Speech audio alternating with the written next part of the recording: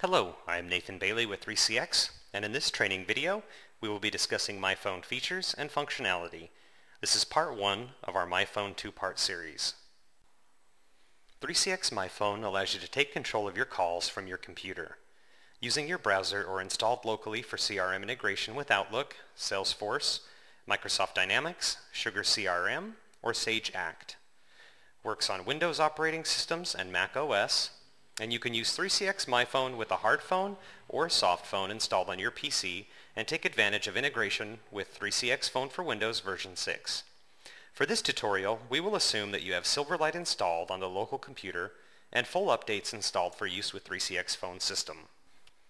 To start using MyPhone, all you need to do is open a browser window and type in the address bar the IP address of the 3CX phone system machine, semicolon, port 5000, forward slash MyPhone, and hit enter.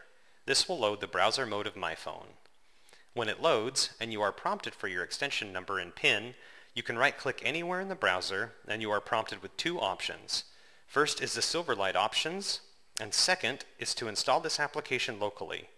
For this example, we will install MyPhone on the local computer for Outlook integration. Next, you will have a security warning pop-up, click yes, and installation will proceed. Now that we have MyPhone locally installed, double-click on the MyPhone icon on your desktop to start using the application. Once it loads, you will be prompted for your extension number and PIN number. The PIN number is your PIN you are assigned for the voicemail system. If you do not use the voicemail system in 3CX, you will still need to assign a PIN number before disabling voicemail for users to be able to access MyPhone. Once logged into My Phone, you are faced with a lot of information and statistics that you may or may not understand on first use, so let's discuss the features in My Phone. In the top left corner is your present status. This displays available, away, out of office, custom 1 or custom 2. It also displays the associated forwarding rule for that profile. So if my status is set to away and I have calls forwarded to my voicemail when I am away, it will be displayed here next to my present status. With number 2, we have the dial pad and number text box to enter or dial a number from. If you use the text box, it will search your phone book for matches as you type for smart dialing, either a name or a number. Pressing the dial pad will bring up a numeric dial pad so you can click the number to dial directly.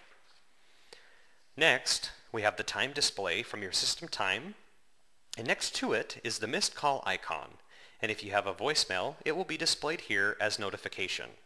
Last, we have the queue login and out button. Green means you are logged into the queue, and red means you are logged out of the queue.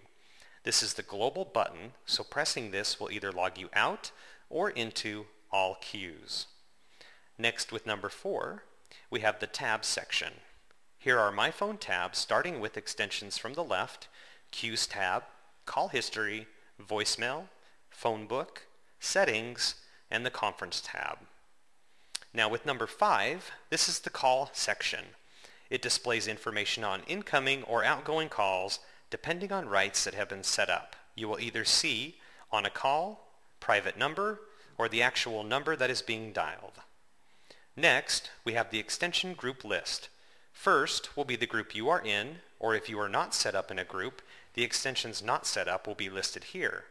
Now with number 7, we will have other extension groups listed below, along with present status and call status. Again, depending on the rights given to you, this will depend on the information that you see here. And last but not least, with number 8, we have the Log Out button and the links to the 3CX help page. When configuring an extension for use with MyPhone, you need to consider some of the options you want users to be able to see. These options include turning off MyPhone so users cannot log in and take advantage of MyPhone, hiding the extension in MyPhone, hide forwarding rules tab, hide extension details tab, and hiding caller ID information in MyPhone. These options are in the extension settings other tab. Queue Statistics is the second tab in MyPhone and allows administrators and users to keep track of queues and see statuses of agents. You can limit what queues agents can see if they are part of a particular queue or not.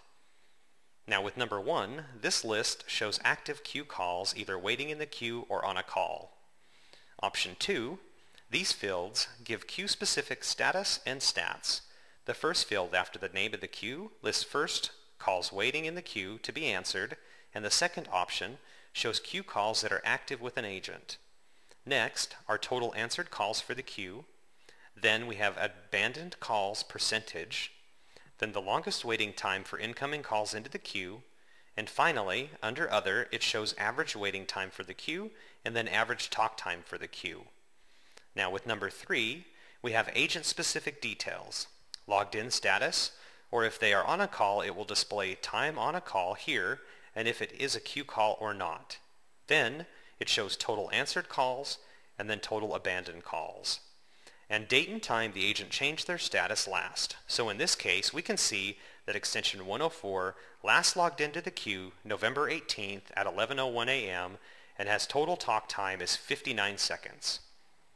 Also in version 10, if you give agents the right, they can log themselves into or out of individual queues by right-clicking on their name in the queue and selecting Log In or Log Out.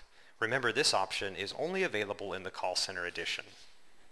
New with Service Pack 5, hiding caller ID for MyPhone will display private number when an extension makes a call or receives an inbound call, no matter what rights other extensions may have in group settings.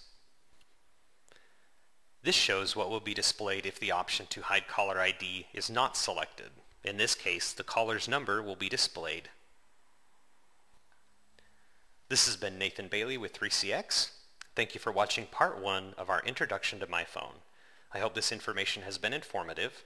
More training material is available at the link provided.